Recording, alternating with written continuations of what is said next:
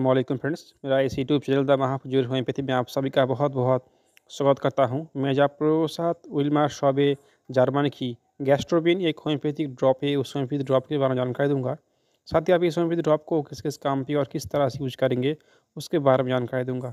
इस गैस्ट्रोबिन homeopathic drop को आप हाइपर एसिडिटी, यानी क्या कि पेट में बहुत ज़्यादा एसिडिटी हो जाती है तो उसको ठीक करने के लिए आप इस होम्योपैथिक ड्रॉप को यूज़ कर सकते हैं।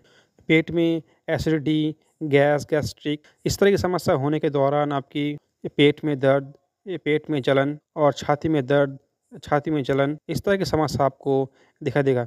तो इस तरह की समस्या को ठीक करने के लिए आप इस गैस्ट्रोबिन ड्रॉप को यूज़ कर सकते हैं। साथ ही आपको गैस, गैस्ट्रिक होने के दौरान आपको अगर खट्टे डकारे आते हैं और आपकी पेट फूल जाती है, वोमिटिंग की समस्या रहती है तो उस कंडीशन के लिए भी सोमपित ड्रॉप बहुत ही बढ़िया है।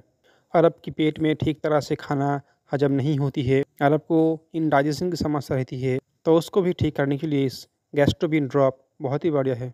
अब हम जान लेते हैं, इस गैस्ट्रोबिन होम्योपैथी ड्रॉप में कौन कौन सी होम्योपैथिक मेडिसिन डली हुई है। इसमें है natrum phos capsicum robinia acid sulph और फॉस्फोरस इस पाँचों होम्योपैथिक मेडिसिन इस गैस्ट्रोबिन होम्योपैथिक ड्रॉप में डली हुई है।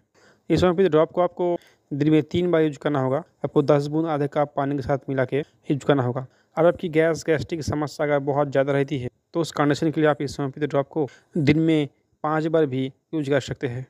इस होम्योपैथी ड्रॉप ट्वेंटी एम की फ़ाइल में आती है और इसकी प्राइस है टू हंड्रेड थर्टी रुपीज़ आज के लिए बस इतना ही। इस वीडियो ज़रूर लाइक कर दीजिए। आप मेरे चैनल पर नए हैं जरा चैनल को सब्सक्राइब कर दीजिए। उसका साथ साथ नोटिफिकेशन बेल आइकन को प्रेस कर दीजिए। Thank you